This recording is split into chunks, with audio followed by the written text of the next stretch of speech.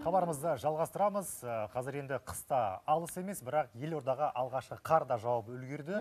Көптеген ә, автокөлік ә, тізгіндеушілері қазір абдырап жүр. Көп көліктің дөңгелегін ауыстырамыз ба ауыстырмаймыз ба? Жалпы солтүстік аймақта тұратын ағайындарда өте актуалды сұрақ қарай осы иә. А, олай дейтін себебім енді қар еріп кетсе мен не істеймін?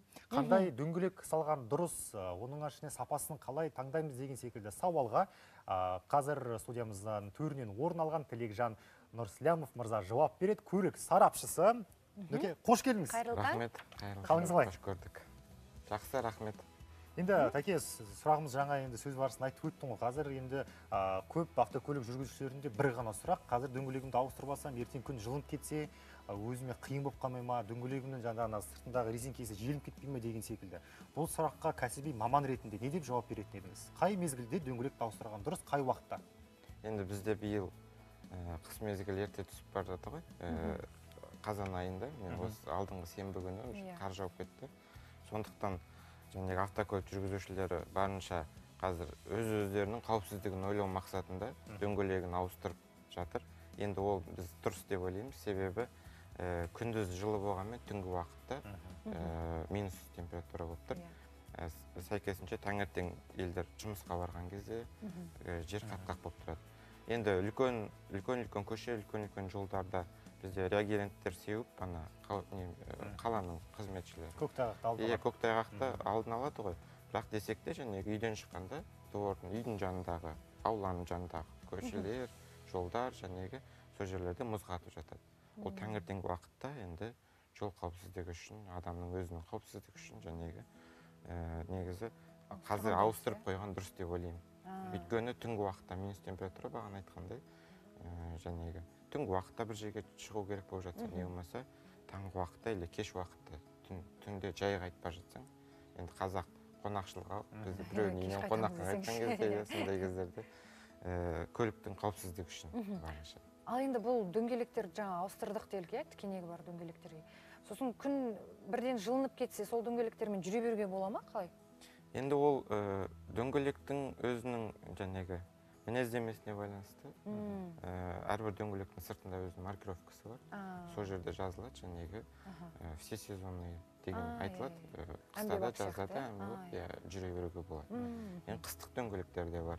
Бірақ енді ол қаланың ішінде аса қатты ә, жәнегі желіне қоймайды деп ойлаймын. Өйткені бізде солтүстік өңір болсын шығыс өңір болсын жәнегі қыс күн түнде суық күндіз жылығанмен бәрібір температура салқын болып тұр ғой. А енді ә, мына ә, жолға алыс жолға шығатындарға енді тақыр бізде бетонка жол деп айтамыз. Сол жерде енді шипованный дөңгелектермен тікенек тіке- жолдармен ә, дөңгелекпен жүрген кезде енді оның ұшып кету қаупі тікенектердің жәнегі резинасының желіну қаупі бар. Күндізгі уақытта температура жылы болған кезде дөңгелек жәнегі асфальтқа тиген кезде ол бір бірімен қызады. М, соответственно сөйтіп желініп қалады иә? иә дөңгелек жібігендіктен содан Тілекжан мырза енді жаңа сөз барысында айтып қалдыңыз ғой тікенекті дөңгелектің бір түрі бар екіншісі жаңағындай маусым бойы қолдануға болатын дөңгелек түрлері бар. Иә. екеуінде қандай айырмашылық бар? Енді маусым бойы қолданылатындарда тікенек болмайды енді. Ол қыста да жазда да жүретіндей ә, тікенекті дөңгелек өздеріңіз көріп тұрсыздар сыртында ә, жәнегі темірден шеге қағылған енді ол көбінесе біздің жәнегі солтүстік пен шығыс өңірлерде пайдаланылады. Ана алматы шымкент және батыс жақтарда енді қыс, қыс болғанмен де және қар еріп кетеді. Иә, жыл иә. ол жақта біз липучка деп айтамыз жабысқақ. Иә. жабысқақ дөңгелектердің ә, бір жақсысы артық шу болмайды. Адам бір темірдің дауысы шығып тұрғандай болады иә тікенектен иә. Демек тікенекті мен ә, жабысқақ ә, арасында айры, аса қатты айырмашылық жоқ тек қана даусында болып тұр ғой. Дауысы иә жайлылығында жайлылығында иә. шегелі дөңгелек кішкене қатты болатын шығар енді. Қатты иә өзінің ә, резинасы жасалған кезде қатты болып жасалынады. Ә, сондықтан ол жәнегі қар қалың жерлерде жәнегі резина қармен бүйтіп қатынасқа түседі ғой енді жүрген Иә, кезде иә. сол қарды ә, батырмамас үшін жәнегі шегелер сол үшін және көп. Көмегі мол дейсіз ғой? Иә ал енді көктайғақ мұзда көбінесе липучка дұрыс деп айтады ол мырза. иә кешіріңіз енді қазір бізге хабарласқан көрермен бар екен. Мүмкін сауалы бар шығар иә? Қайырлы таң. Байланысқа қоссақ тыңдап тұрмыз. Алло қайырлы таң. Иә сәлеметсіз бе? Ассалаумағалейкум. Мынау қазіргі келіп отырған қонаққа мен бір сұрағым бар еді көп Иә. білмей жүрген.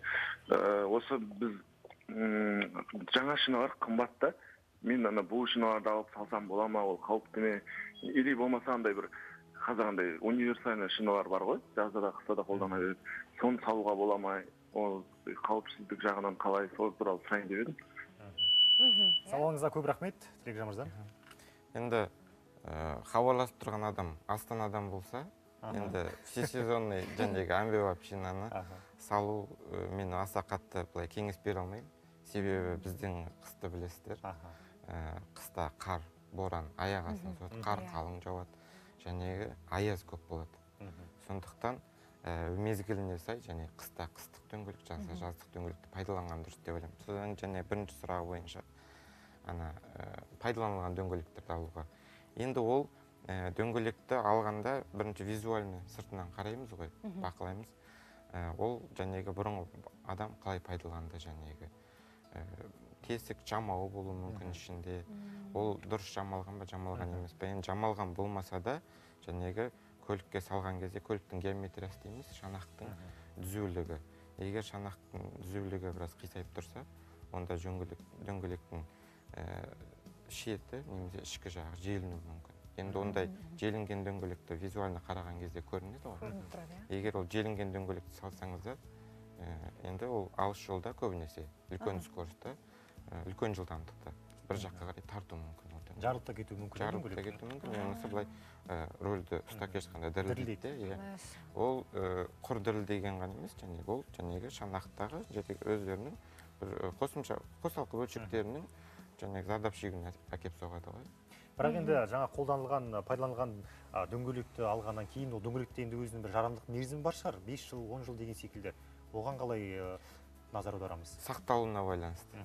Егер ә, адам және қыстық дөңгелекті жазық түскен кезде алып сақтаған кезде ә, біріншіден осындай ә, құр резинаны өзін шинаның өз дөңгелектің өзін ғана сақтайтын болсаңыздар онда осылай тұрғызып қойып сақтаған дұрыс. Жатқызбау керек. Жоқ. Егер дискісімен болса ол өзінің дискісімен онда жатқызып бірінің үстіне бірін қойып сақтайды Ә, ол бір одан кейін жәнегі су ә, жәнегі ыстықтың күннің сәулесінің түсуі деген секілді далада сақтап иә мысалы иә резина ә, дөңгелек ол заводта немесе бір ә, складта тұрған кезде жаңағы қоймада тұрғанда ол енді күн түспейді. Және ылғалдылығы бәрі дұрыс деген енді біз көбінесе жаздың күні шешіп тастаймыз қыстық дөңгелекті. Бір қабат жуып тазалап және тастарын алып тастап шаңдарын содан кейін дұрыстап сақтап қойған гаражға немесе енді осы сақтау тақырыбын кең тереңірек тоқталғым келіп отыр. Мәселен жазғы дөңгелек иә көп қабатты үйлерде жазғы дөңгелектер балконнан тұрады. Балкон енді көп жерде суық болады. Енді жазғы дөңгелек суықта қалай өзін ұстайды ол жерде сақтаған дұрыс па? Әлде бір жылы жерге орынға қою керек пе? Дәл сондай мынау қыс мезгілінде қолданатын дөңгелегіне тиесілі иә? Балконда күн сәулесі ыстық болады жаздың күні ол қатып қалмай ма жұмсарып кетпей ма деген секілді. Қай жерде сақтаған дұрыс? Иә дұрыс айтасыз және күн сәулесі түскен жерде ол ә, резинаның кеп кеуіп қалуына әсер етеді ғой ол кеуіп қалған резина ертең ол салған кезде иә келмей ә, қала ма көлем салған кезде андай ә, трещина дейді А. жыртылып жыртылып кетуі мүмкін ол жыртылғаннан кейін оның ішіндегі өзінің резинаның ә, атқаратын қызметі білінеді жәнегі бір шоқалақ немесе бордюр бір нәрсеге ұрып алсаңыздар бірден сол жерден жәнегі шишка шығып кетті деп айтамыз Аха. енді Аха. сондай. Мен Енді де- қаупі өте жоғары ғой бұл өйткені Иә. адам көлікті тізгіндеген кезде бар зейінін жолға салады одан бөлек мынау дөңгелектің де сапалы болуы өте маңызды маңызды дұрыс айтасыз иә дөңгелектің сапалы болуы маңызды бірақ енді э, дөңге э, әр адам өз қалтасына қарай ғой алған Иә. кезде иә, э, жәнегі ақшасы өйткені қазір нарықта дөңгелектердің бағасы әртүрлі. Э, и э, соған қарай жәнегі сапасы да. А, мен енді бұл көлік дөңгелектер жайында қаттасы біле бермеймін. Енді мінекей студиямызда екі дөңгелек тұр екен. Қайсысы жазғы қайсысы ә, к- жаңағы қыс, қыста қолданамыз? Мынау жерде тұрған қыстық дөңгелек және шегесі. темірлері бар иә, иә темірлері бар, шегесі бар. иә? содан кейін ана ә, протекторларын қарасаңыздар мына жерде ә, былай екіге жарылған. Ол ә, жәнегі су сумен су сулы жермен иә де, қар сулы жермен жүрген кезде екі жаққа лақтырып отыру үшін қарды иә өйткені егер дүп түзу болса ол қар ортасына кіріп жаңағы машина көлік тоқтаған кезде не болмаса бүйтіп сырғып кетуіне ә, кері әсерін тигізуі мүмкін. Ал мынаның направлениясы былай екі жаққа жаңағы жолға шапқан кезде иә. И ә, салған кезде жаңағы дөңгелекті осы направлениемен салған дұрыс. Егер жаңағы көл дөңгелек ауыстыратын жерлерде теріс салып қойса ол жаңағы ә, көліктің бірінші жылдамдығына жаңағы басқаруына кері әсерін тигізуі мүмкін. Бекжан мырза енді осы дөңгелекті бүгін студиямызға реквизит есебінде алып келіп тұрмыз ғой иә қазір енді біздің режиссерлар бізді жоғарыдан камерадан берсе осы жерде біз қазір енді мен айтқым келгені көп адам көп жағдайда осы дөңгелектің сыртындағы ақпаратқа назар аудармайды. Бірақ барлығы осының бетінде жазылу иә? Қай жақ бетке қарап тұру өлшемі қандай қай елде шыққан қай мерзімде шыққан иә? Осының барлығын қазір көрерменге түсінікті болсын. Арасында енді арай секілді бізде нәзік жанды аруларымыз да бар автокөлікті тізгіндейтін Иә. ол жандарға да құлақ қағыс болсын. Қазір енді мынау үстелімізге енді мынау шиналарымыз тап таза көтеріп мынау әуелі қыстық дөңгелекті көрсетсек иә? Иә мына жерде мына қыстық дөңгелектің ең арай сен бірінші мұқият қарап ал. ең бірінші иә. сыртында мына ә, қардың суреті бар. Ол сәйкесінше қыстық дөңгелек иә? дегенді белгілейді. Көрініп енді ол қардың суреті бір жерде болуы мүмкін бір жерде болмауы мүмкін. Бірақ та мына жерде үш бұрышты ә, жаңағы белгісі. Соның ішінде қардың суреті тұр. Одан мына жерде жаңағы ә, көліктің размері жүз жетпіс бес дегеніміз ол мына көліктің мына жалпақтығы жүз жетпіс бес.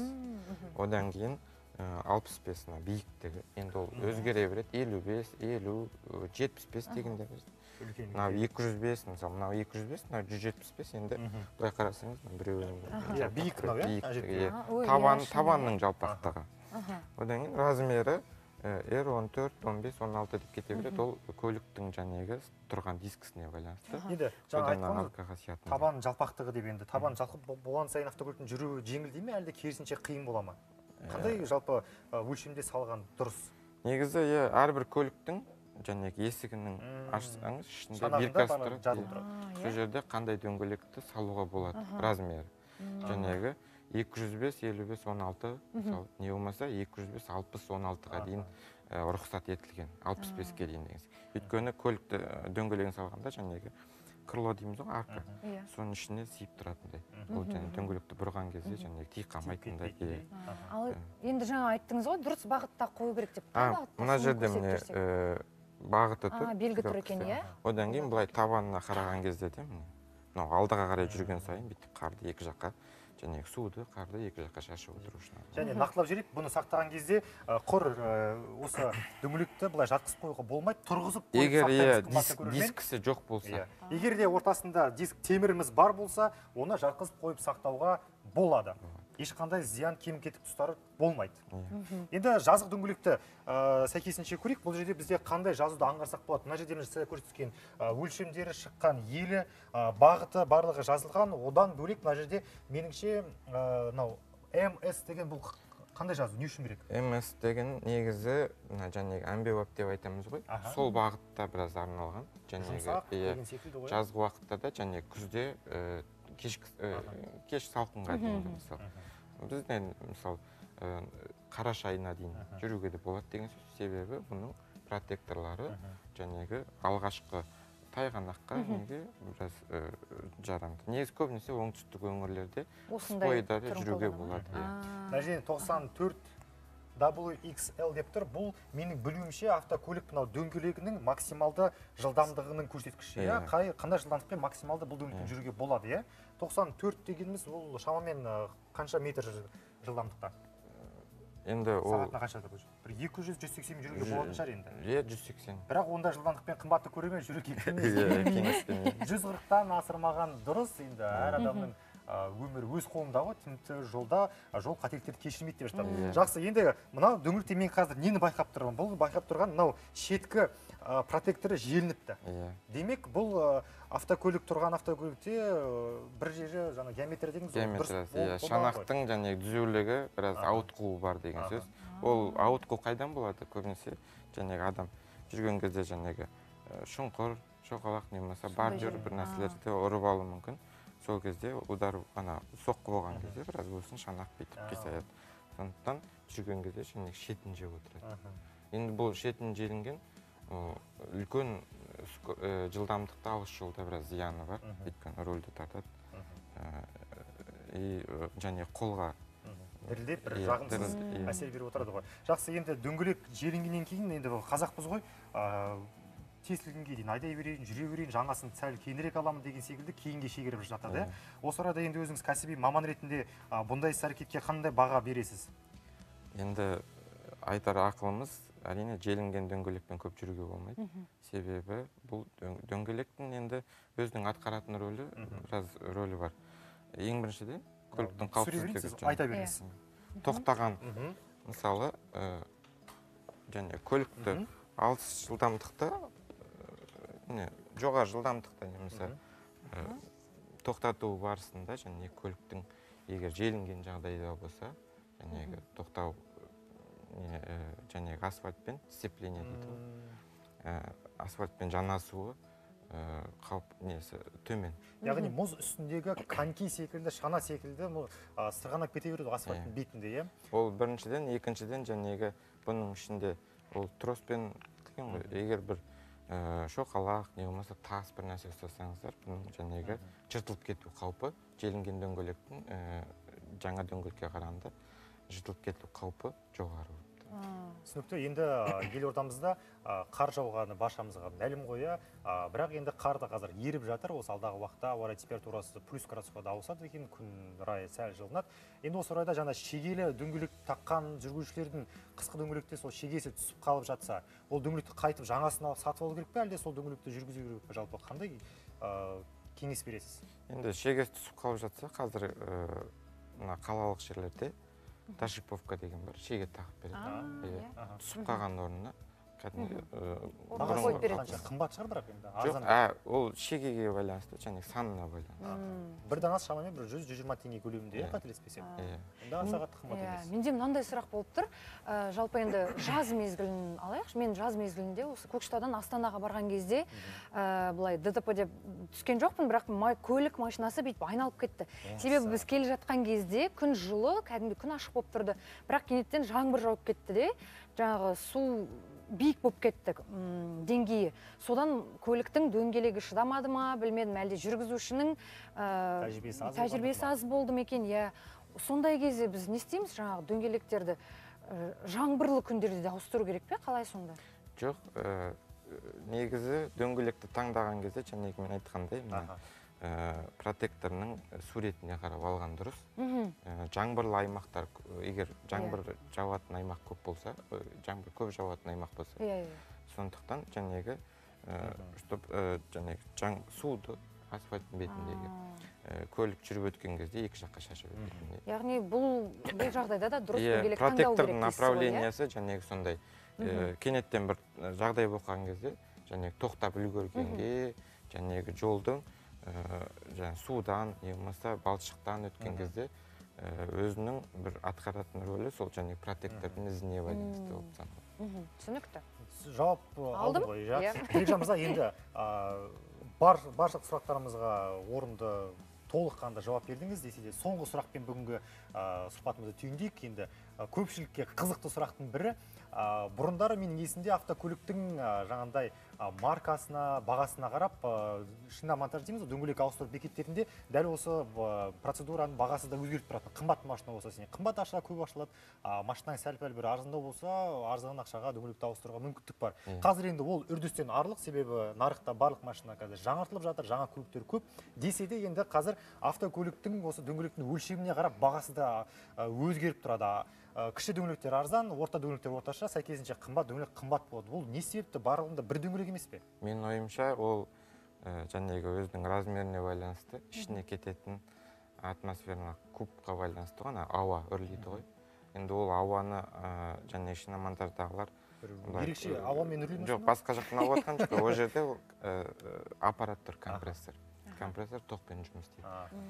Мынаған мысалы аз ауа кететін болса анаған ә, сәйкесінше көп ауа кетеді и, ә, және компрессордың жұмыс істеу ә, барысы көп болады. Ә, жаңағы тоқты жұмсау деген секілді сондай. М, Ә, сол үшін мен менің ойымша солай деп ойлаймын. Өйткені кішкентай дөңгелекке аз ауа кетеді да үлкен дөңгелекке көбірек ауа Ә, ал негізі былай ауыстыру істеу барысы бәрінікі бірдей ғой. Ә, бір аппаратқа салып жаңағы бөлек алып басқасын салып орнына. Негізі көбінесе сол. Ауасына кететін ауасына байланысты компрессордың жұмысының қуаттылық ә, үнем не пайдалануына Иә, байланысты иә. деп ойлаймын Аха. бағасына өсу түсінікті көп рахмет. Иә енді тілекжан мырза келгеніңізге көп рахмет. Уақыт бөліп сұхбатыңызға рахмет иә. Біраз пайдалы ақпарат біліп алдық. Сіздерге де пайдалы болды деген сенімдеміз. Күніңіз сәтті өтсін дейміз. Рахмет сіздерге. Қымбатты көрермен дәл, дәл қазір арнамызда жаңалықтар топтамасы. Жаңалықтар топтамасынан кейін хабарымызды жалғастырамыз. Арнадан алыстамаңыз.